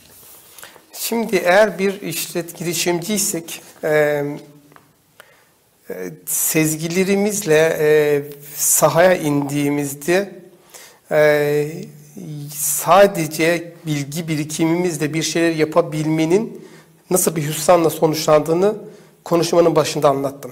Finansal planlama dediğimiz yani sizin bir iş planınız var. Bu iş planın e, bir de finansal tarafı var. Giderler gerçektir, gelirler hayal. O gerçekler kesinlikle ödenecek. E, ofisin gideri, maaşlar, e, faturalar bunlar hayatta kalmanız için dükkan hani diyor ya kepengi kaldırma maliyeti var. Basıyorsunuz kepenge o gün e, oranın bir maliyeti var. Bunları eğer büyük bir fotoğrafa yazarsanız, e, finansal planınızı çıkartırsanız nakit akışınızı kontrol ederseniz demin bahsettiğiniz gibi nakit akışını takip edemediğiniz zaman yine işletme uçuruma sürükleniyor.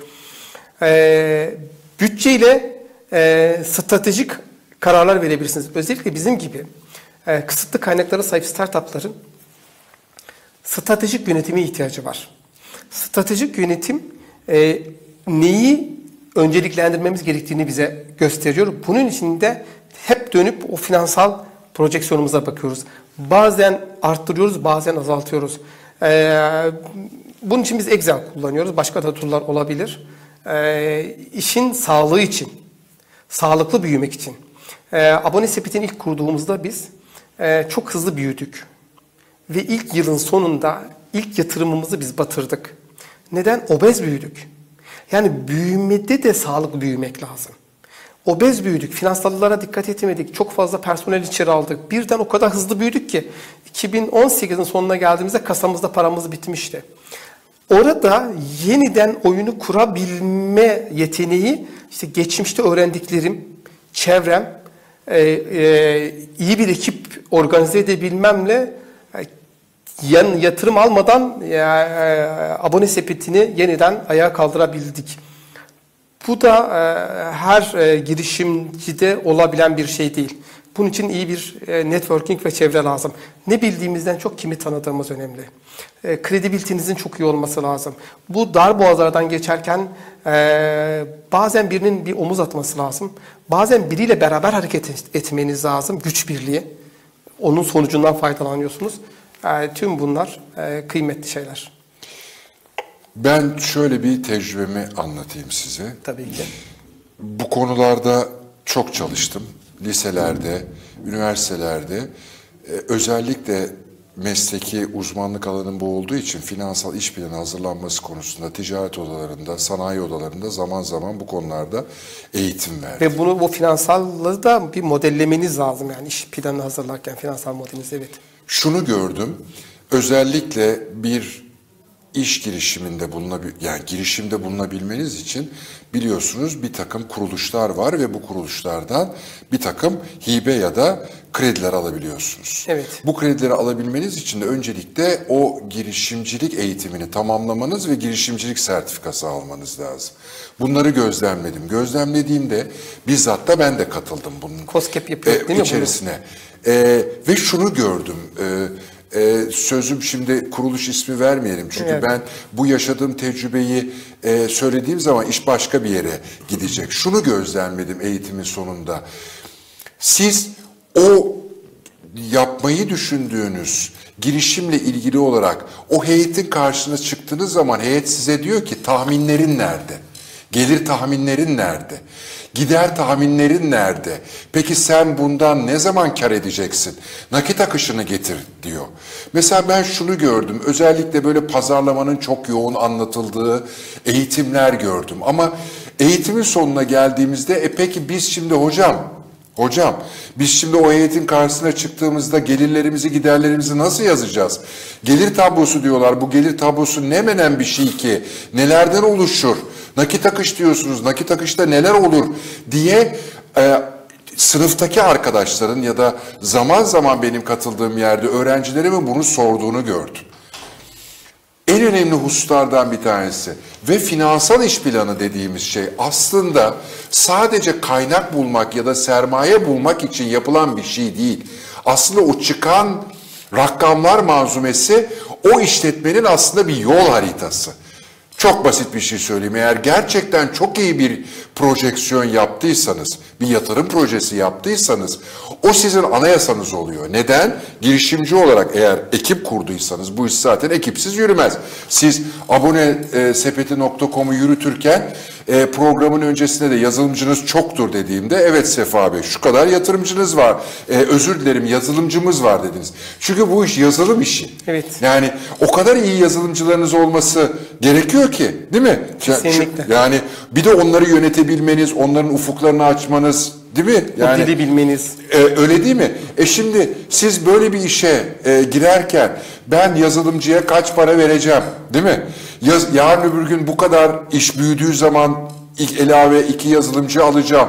Onların piyasa değerleri bu kadar onu vereceğim. İşte onun üzerinden sigorta vereceğim, gelir vergisi ödeyeceğim, muhtasar ödeyeceğim değil mi? Yani bunların hepsi bir bütün. Bunu iyi bilmek lazım. Ve size maalesef bu eksiklik var. Yani ee, sizinle de konuştuğumuz gibi, sizin de belirttiğiniz gibi sezgilerle yürümüyor bu iş. Bu iş rakamlarla yürüyor. Yine mesela size bir örnek verdim. Bir girişimci, eğitim verdiğim bir girişimci bana şunu söyledi. Hocam dedi ben kafe açmak istiyorum dedi. Ve dedi kafe açacağım dükkanı gözüme kestirdim dedi. Ve gittim dedi bir sandalye koydum bir fotosel aldım yanıma dedi. Ve ben dedi ölçtüm yani bütün gün kaç tane kişi önü, dükkan önünden geçiyor. İşte 12 ile 2 arasında akşam 5 ile 7 arasında kaç kişi geçiyor. Bunları tek tek bir hafta boyunca gözlemledim hocam dedi. Sonra oturdum onları dedi. E, ve bir istatistik yaptım dedi. İyi senaryo ve kötü senaryo yaptım. İşte şu saatler arasında 15 bin kişi geçiyor. Atıyorum rakamları hatırlayabilmem mümkün değil. İşte bu 15 bin kişinin yüzde ikisi dükkanın içine girer. İşte bir tek kola içer ya da iki tane çay içer. Gider dedim diyor. İşte şu kadarı iyimser senaryo yaptım. içeri girer işte makarna yer. Eee ton balıklı salata yer, işte yanına da kola içer, ayran içer diye hesaplar yaptım ve ben o iyimser senaryonun yerine, o iyimser senaryonun yerine o kötümser senaryoyla bütün e, giderlerimi, gelirlerimi öyle belirledim ama sizin dediğiniz gibi gider gerçek, gelir tahmini. Doğru mu? Yani daha geliri yaratmadan önce gidip dükkan kiralıyorsunuz. Evet. Ve kronometre başlıyor yani anlatabiliyor muyum? Dükkan kiranız 10 bin liraysa işte ki imzaladığınız anda ikinci günde bir kere 10 bini 30'a böldüğünüzde 300 liradan ikinci günde 600 lira yazıyorsunuz. Sandalye alıyorsunuz, masa alıyorsunuz falan. İnsan çalıştırıyorsunuz. İşte e, bu iş o kadar önemli ki. Yani ben aynı zamanda bu program vasıtasıyla bizi eğer kamu otoriteleri, e, e, bu işe gönül vermiş insanlar izliyorsa yeni girişimcilere, girişimde bulunmak isteyenlere, ticari fikri olan e, genç kardeşlerimize ya da belli bir yaşın üzerindeki insanlara şunu söylüyorum. özellikle finansal iş planı yapma konusunda çok ciddi eğitimler verilmesi gerekiyor. Yani girişimcilerin e, gelirden, giderden, e, nakit akıştan, alacaktan, ödemelerden, gelir tablosundan, bilançodan çok iyi fikir sahibi olması gerekiyor. Eğer siz bir projenizi rakamlara dönüştürmediyseniz, iyi bir yatırım projesi yapmadıysanız, siz sonuç itibariyle hüsrana uğramakla karşı karşıya kalmanız yüzde 90 ihtimal. Ama eğer çalışmanızı veriye dayandırdıysanız, siz bunu yapabilecek bilgiye sahipseniz bu işi yönetebilmeniz çok daha kolay oluyor. Onun için bizi izleyen kamu otoritesinden, ticaret odalarından, sanayi odalarından özellikle ricam genç girişimcilere yönelik finansal iş planı hazırlanması konusunda sürdürülebilir eğitimler vermeye gayret ediniz. Çünkü bu bilgilerle donanmış insanların e, o girişimleri batırma imkanları söz konusu değil. Doğru mu? Kesinlikle çok doğru. Peki. Şimdi şunu söylüyorum. Yeni bir iş fikri için yapılan iş planı her zaman kaynak bulabilir mi? Çünkü siz bu soruyu özellikle size e, yöneltmemin sebebi şu. Çünkü siz dört defa yatırım almış bir girişimsiniz. Bu çok önemli. Yani her e, tura çıktığınızda projenizi anlattınız. Projenizin artılarını ve eksilerini anlattınız. Buradan çok ciddi bir tecrübeniz var. Onun için soruyu tekrarlıyorum. Yeni bir iş bir iş fikri için yapılan iş planı her zaman kaynak bulabilir mi? İş planı kaynak bulabilir mi bilmiyorum ama girişimci girişimci doğru girişimci ise bulur. Aslında yatırımcı, e, melek yatırımcılar, e, özellikle melek yatırımcılar girişimciye yatırım yapıyor. Girişimciye ve ekibine. Ekip çok kıymetli. Başarıyı getiren şey de ekip. Çok iyi bir ekip, e, kötü bir fikir bile olsa başka bir şeye dönüştürüyor, devam ediyor. Yani girişimcinin dayanıklı olması gerekiyor ya. Girişimcinin bir tarafı da kaynaklara erişebilir Buradan olması. lütfen şeyi anlatın. Abonesepeti.com'u ilk kurduğunuzda orada e, bir karşılaştırma fikriyle çıktığınızı ama sonra bunu farklı bir platforma hemen şimdi dediniz ya yani duruma göre kendisini geliştirebilen dediniz. Oradaki e, tecrübenizi paylaşır mısınız lütfen? Şimdi biz abone sepetini bir karşılaştırma platformu olarak biz fikir aşamasında aldık. Henüz herhangi bir şeyimiz yoktu. Toz toz but, bulut halindeydi. Fikrimizi Melek Yatırım Ağı'na götürdük. Şirket ortağı Melek Yatırım Ağı'na. Biz yatırım aldık. Mehmet Bey'e daha sonra sordum ben. Yani bize neden yatırım yaptınız?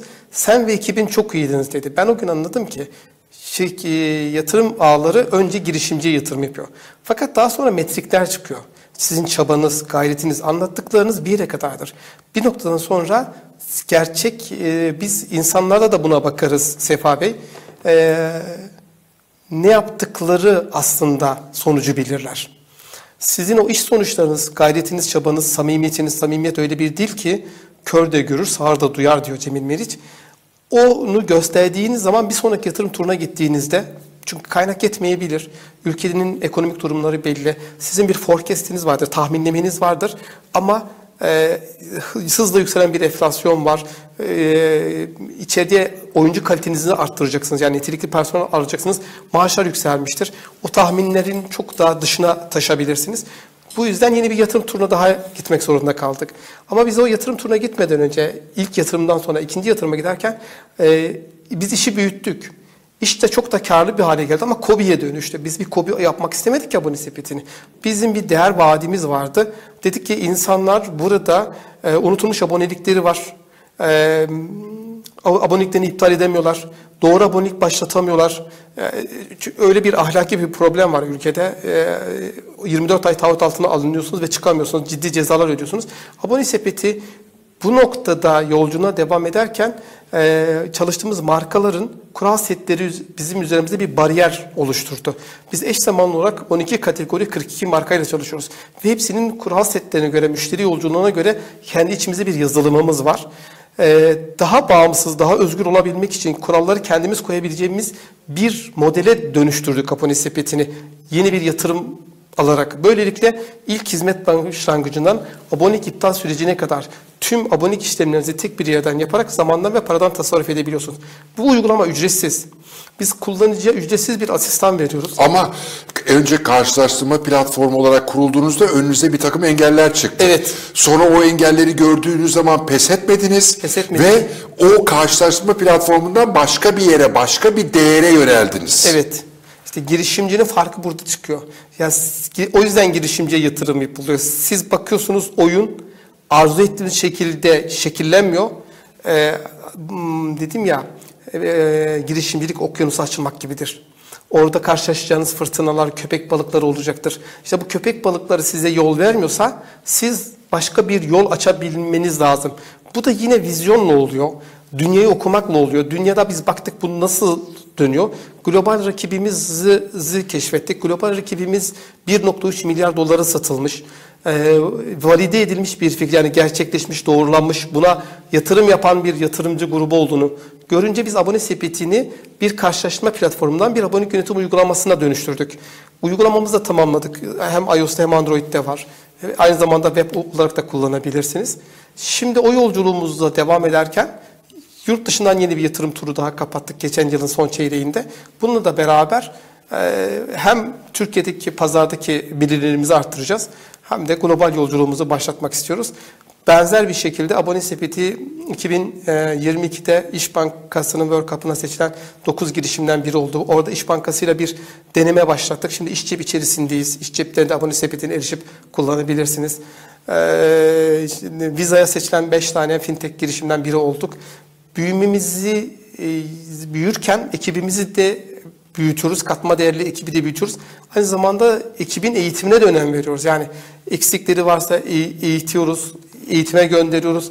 Ee, başarı sizinle alakalı değil, ekibinizle beraber ancak gerçekleşebiliyor. Yani tek başınıza maçı kazanıyorsunuz. Ama şampiyon olmak için o takıma ihtiyacınız var. Çok doğru. Biz şampiyon olmak istiyoruz. Ee, şimdi e, siz dört defa yatırım turuna çıktınız. Şimdi bir girişimcinin yatırımcı karşısında projesini anlatabilmesi çok önemli. Evet. Çünkü karşınızdaki yatırımcının sizi dinleme süresi 20 dakika. Yok 5 dakika. Hadi 20 dakika diyelim. 20 5 dakika. dakika, 5 dakika çok... e, 5 dakika sonra eğer ışık ışığı gösterebiliyorsanız, merak uyandırıyorsanız o e, 20 dakika size bir zaman ayırıyor. Yani biz onu 5 dakika demeyelim. 20 dakika. 20 dakika diyelim. Evet. 20 dakikada siz e, o şirketi nereye götüreceğinizi çok basit anlamda o şirketi nereye vardırmak istediğinizi anlatıyorsunuz. Ama doğru gerçek verilerle. Yani karşınızdaki işi o kadar iyi biliyor ki e, eğer siz gelirlerinizi çok şişirmişseniz hemen diyor ki manipüle etmişsin diyor ve masadan kalkıyor. Evet. Ve bütün şansınızı kaybediyorsunuz. İşte o e, girişimini yapmış, yatırım almak isteyen, daha büyümek isteyen girişimcilere, o melek yatırımcıların karşısında nasıl hareket etmeleri, nasıl sunum yapmaları gerektiği konusunda da lütfen tecrübelerinizi anlatır mısınız? Tabii ki. Hazırlık Önce şöyle yapalım. Madem 5 dakika dediniz ya, şimdi sizi biraz sıkıştırayım. O 5 dakikada neyi vermek zorunda? Nasıl olmak zorunda? Yani bir de bir duruşu var değil mi? Yani girişimcinin bir duruşu var. O 5 dakikada şey söyleyeyim size, rahmetli Üzeyir Gari'nin bir seminerini dinledim.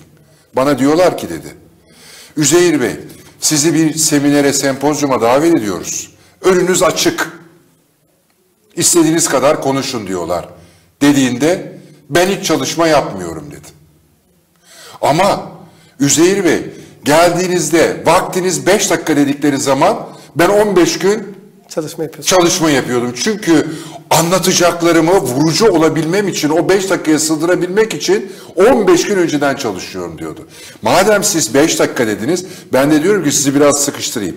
O 5 dakikada o girişimci nasıl bir duruş sergilemeli, neyi vurgulamalı, Ee, onu dinlemeye razı olan melek yatırımcıyı karşısına geti- e, karşısında hissettiği anda, bu daha 15 dakika daha beni dinleyecek dediği anda o 15 dakikada neyi anlatmalı? Melek yatırımcı neye dikkat ediyor? Ne için o yatırıma, girişime e, para aktarıyor?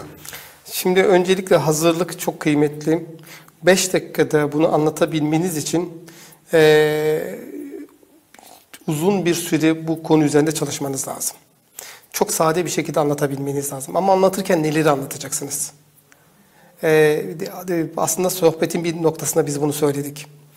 Ee, Elbette melek girişimci e, girişimci ağı size ve ekibinize bakıyor. Bu siz nereden gelmişsiniz? Eğer o sektörün içerisine gelmiş ve o sektörü çok iyi biliyorsanız, sektörün acılarını, e, kapılarını biliyorsanız bu sizin için bir pozitif çıktı. Evet. Ama yatırım yapan bütün melek yatırımcılar pazarın büyüklüğüne bakıyor. Hangi hangi pazarın kapısındasınız? Nasıl bir pazara gideceksiniz? Marketin büyüklüğüne diyeyim. Ve o markette satın alacak kişilere bakıyor. Ve o kişiler hangi sıklıkta alacaklar? Bunu da finansal olarak göstermeniz lazım. Manipüle etmeden. Samimiyet buradan geliyor. Eğer siz onu manipüle etmeden anlatabiliyorsanız bugün diyorsunuz ki benim şu kadar param vardı. Bununla şu çıktıları aldım. Eğer şu kadar yatırım olursa bununla da şuraya götüreceğim. Yani bunu grafiksel olarak gösteriyorsunuz. Bu bir tahminleme. Ee, normal oda koşullarında anlatıyoruz bunları. Ama e, gerçek hayatta artabilir, azalabilir, sapabilir. Sapmaların yaşanmasının sebebi hmm, e, o iki, doğru ekibi e, kurarak devam etmeniz lazım. İyi bir sunum sadece yeterli değil. İyi anlatacaksınız ve ekibinizle beraber gitmeniz lazım. Ben hep ekibimle beraber sahneye çıkıyorum. Tek başıma asla çıkmıyorum. O kolektif gücü, is- istişare kültürünü, ortak akıllı, e, beraber e, hareket edebilme e, yetkinliğini gösteriyorum. Bu da başarı getiriyor. Yani siz tek başınıza kendi bilginizle hareket ettiğiniz zaman e, yanılabilirsiniz, hata yapabilirsiniz. Bizim hem yönetim kurulumuz var hem de danışma kurulumuz var. Ayda bir danışma kurulundan e, e, sunum yapıyoruz. Oradan ki feedbackler, geri bildirimler alıyoruz ki bir girişimci için en kıymetli şey geri bildirim. Geri bildirim bir armağan. Çok iyi öğretileri vardır. E, müşterilerden de gelen her geri bildirim bizim için paha biçilmez kıymetlidir. Öğrenerek devam ediyoruz. Çünkü biz olmayan bir şey yapıyoruz pazarda. Hatalarımız da olacak, yanlış baktığımız noktalar da olacak.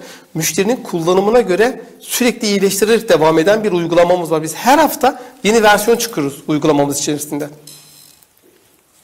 Peki, e, melek yatırımcının karşısına çıktığınızda sahnedeyken melek yatırımcıdan ne gibi sorular aldınız? Çok böyle zor durumda kaldığınızı hissettiğiniz, cevap veremediğinizi hissettiğiniz, e, böyle birkaç tane e, tecrübelerinizden bize bahseder misiniz? Ne soruyor? Melek yatırımcı size ne soruyor? Siz anlatıyorsunuz ve onun kafasında soru var. Ne soruyor? Neyi öğrenmek istiyor? Genellikle e, sektörü bilmeyenler soruyor, detayı soruyorlar. Sektör bazında e, uzmanlık soruları geliyor. Yani abonik endüstrisini soruyor. E, şunu yakalarsanız, bu hayatta bu böyledir. Üniversiteyi kazanmak zordur. Kazandıktan sonra her şey kolaydır ya. Üniversite, o ilk yatırımı alabilmeyi başardıysanız, ki o zor olan odur. Ee, eğer fikriniz, ekibiniz, siz iyisiniz o yatırımı aldıktan sonra bir sonraki yatırıma gittiğinizde aslında hem hazır olarak gidiyorsunuz hem daha iyi anlatıyorsunuz. Melek yatırımcının sorduğu ve tıkandığım bir soru hatırlamıyorum. Çünkü hep çok hazır gidiyorum. Hazırlık yapıyorum. Bununla alakalı ciddi hazırlıklarımız var. Hatta sizinle de bir e, Notion dokümanı paylaştım. Ee, sadece bir e, PowerPoint dosyası hazırlamıyorum. Ee, ürünün detayını, e, e, e, roadmap'imizi, yolculuğumuzu, e, ekibi, ekibin e, geçmişini, e, nereye gideceğimizi, vizyonu, tüm bunları bir dokümante ediyoruz ve okunaklı bir hale getiriyorum. Word dokümanı değil. Bir web sayfası standartında tıklayarak açabileceği farklı bir bakış açısıyla bunu anlatmaya çalışıyorum. Ee, nedir? Yönetim kurulu raporlarım da bu kadar e, hassas çalışıyorum. Ee, bu yüzden kendimi her alanda geliştiren bir girişimciyim. Ee, sadece bir tool kullanmıyoruz. Abone sepetinde iş yönetimi için kullanabilir miyim? Burada yaptığımız bizi e, kullandığımız tool'ları söyleyebilir miyim? Bir sıkıntı var mı? Tabii. İş yönetimi için Asana'yı kullanıyoruz biz. Asana ile bütün her şeyi yönetiyoruz. Asana, asana.com. Tüm dokümantasyonumuzda Notion'u kullanıyoruz. Şirket içindeki iletişimimizde Slack diye ayrı bir iletişim e, kanalı kullanıyoruz. E, ve bütün her şeyimiz bizim yazılı. Her şeyi veriye döküyoruz. Kaç tane test kapattık, yani görev bitirdik. Bu, bu, bu, bugün kaç tane kullanıcı bize geldi? Yani metrikleri takip ederken önceden e, web sayfasının trafiğini ve ciroya bakıyorduk. Şimdi kullanıcı sayımıza bakıyoruz, indirme sayımıza bakıyoruz, aktif kullanıcı sayımıza bakıyoruz. E, kaç kişi satın alma yapmış, kaç tane başvuru gelmiş. Tamamen veriyi takip edebilecek sistemler inşa ediyoruz. Doğal olarak siz anlattıklarınızı bir kağıt üzerinde de rakamlarla gösterip bunu ispatladığınız zaman yatırım geliyor. Peki, size bir şey söyleyeceğim. Ee, daha doğrusu e, nihai tüketiciye değer yaratacak bir fikir vereceğim şimdi size. Evet. Bunu ücretsiz vereceğim ama. Teşekkür ederim. Biraz önce konuşmanızda dediniz ya, e, taahhütlü aboneliklerde 24 aylarda tüketiciler çok ciddi bedeller ödüyor dediniz. Şimdi size ben- Hatalı aboneliklerden dolayı. Ee, şimdi ben size bence sizin platformunuzu kullanacak, e, nihai tüketiciye değer katacak bir yazılım yapmanızı önereceğim. O da şu. Şimdi Türkiye'de taahhütlü abonelikler konusu yıllardır problem. Çünkü 6502 sayılı Tüke- Tüketici Koruması Kanunu'ndaki kanunun maddeleriyle yönetmelik maddeleri maalesef birbiriyle tutmuyor ve yönetmeliği esas alıyorlar. Ve maalesef tüketicilerimiz şöyle bir şeyle karşı karşıya kalıyorlar. Abonelikleri yapıyorlar ve bir yerden sonra o abonelikten çıkma ihtiyacı hissediyorlar ve sorular hep şöyle geliyor.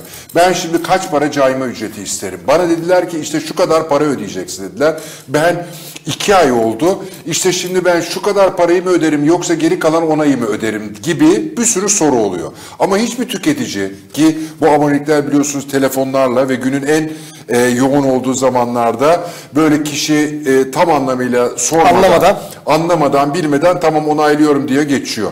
Halbuki orada tüketici o satın aldığı ister internet aboneliği olsun, ister mobil telefon olsun. operatörlüğü, e, aboneliği olsun. Bunun taahhütsüz fiyatı ne kadar, taahhütlü fiyatı ne kadar diye hiçbir bilgiyi almıyor. Ya da karşı taraftan bana bunu gönderin diye döküman göndermiyor. Artı e, 24 aylık ya da 12 aylık abonelikte ikinci ayda çıkmanızla 10. ayda çıkmanızın hesaplamaları Farklı. bi- birbirinden çok farklı. Eğer bunları yazılımın içerisine adapte ederseniz, tüketici oraya hem taahhütsüz hem de taahhütlü fiyatı girerse, taşınma nedeniyle ya da farklı sebeplerle abonelikten çıkmak istediği zaman cayma bedelini doğru hesaplayabiliyorsa bence bu nihai tüketiciye değer katacak bir konu. Programımızın sonuna geldik. Ee, abonesepeti.com'un kurucusu olarak Biliyorum ki alçak uçuş yapıyorsunuz. Bu ne demek? Yani e, radarlar sizi şu anda tespit edemiyor. Yani çok reklam yapmıyorsunuz. Evet. Ve e, Türkiye'deki e, milyonlarca insan belki platformunuzu bilmiyor. Evet. Sizden ricam bir dakika içerisinde abonesepeti.com ne yapıyor? E, e, nihai tüketiciye ne gibi e, faydalar sağlıyor? Bir dakikamız var ama programdan çıkacağız çünkü. Bir de bunu kısaca programımızın sonunda anlatın. Bizi izleyen değerli izleyicilerimiz abonesepeti.com neymiş? Benim hayatımı nasıl e, kolaylaştıracak? Nasıl bana değer katacak? Onu da öğrensin. Ondan sonra programı kapatalım. Çok teşekkür ederim. Ee, biz geliştirdiğimiz inovasyon dolu uygulamayla bütün aboneliklerinizi tek bir yerden planlayabilir, izleyebilir, optimize edebilirsiniz. Karşılaştırma yaparak aboneliklerinizi başlatabilir. Ee, ne- faturanızı ödeyebilir, evinizin DASK'ını, aracınızın kaskosunu yapabilirsiniz ve en önemlisi kullanmadığınız abonelikleri abone sepeti üzerinden kolayca iptal edebilirsiniz. Ee, abone sepetini kullanın. Daha fazla kazanır, daha az harcar ve bütün aboneliklerinizi tek bir yerden kontrol altına alırsınız. Teşekkür ederim bizi davet ettiğiniz için. Ama ben burada girişimcilere son bir söz söylemek istiyorum. Mucize mi arıyorsunuz? Aramayın. Mucize istikrardır. Sürekliliği bozmadan çalışırsanız kesinlikle hayat sizin önünüzde diz çökecek ve size arzu ettiğiniz hayatı armağan olarak sunacaktır. Deniz Bey çok teşekkür ediyorum. Ben teşekkür ederim. Değer kattınız. Ee, çok güzel bir söyleşi oldu. Ee, ve girişiminizde bundan sonra size başarılar diliyorum. Çok teşekkür ederim. Çok sağ olun. Değerli izleyiciler, bugün girişimciliği, girişimciliğin kilometre taşlarını e, çok değerli konuğumla, bu işin içinde çaba sarf etmiş, e, yaptığı girişimde para batırmış, e, bunun sonuçlarını uzun yıllar yaşamış Sayın Deniz Okumuş'la e, konuştuk. E, çok detaylı bir şekilde. Ben programı kapatmadan e, önce Sizlere özellikle yeni girişimcilere şunu söylemek istiyorum. Çok iyi bir iş fikrim var. Bunu ticaretleş- ticarileştirmek istiyorum ama sermayem yok, param yok kelimesini asla söylemeyin. Özellikle girişimcilikte ama kelimesini e, içeren hiçbir cümle kurmayın. Çünkü ama kendisinden önce gelen cümleyi öldüren katil bir kelimedir. Girişimcilik azim ister, dürüstlük ister, veri ister. E, şunu da söylemekten geçemeyeceğim. Mühendis olabilirsiniz e, ama mühendisseniz bir ticari fikrinizi ticarileştirmek istiyorsanız onun üzerine mutlaka işletme eğitimi almanızı, bilanço, gelir tablosu gibi finansallara hakim olmanızı özellikle tavsiye ediyorum. Programın sonunda bu programın e, sizlere ulaşmasında emeği geçen çok değerli arkadaşlarım, yönetmenim Murat Kaytan'a, kameraman Serdar Hüseyin Baş'a, program sorumlum Deniz Turan'a çok teşekkür ediyorum. Bizi izlediğiniz için de sizlere de çok teşekkür ediyorum. Önümüzdeki bölümlerde tekrar birlikte olabilmek dileğiyle hepinize iyi geceler ve sağlıklı yarınlar temenni ediyorum. Hoşçakalın değerli izleyiciler.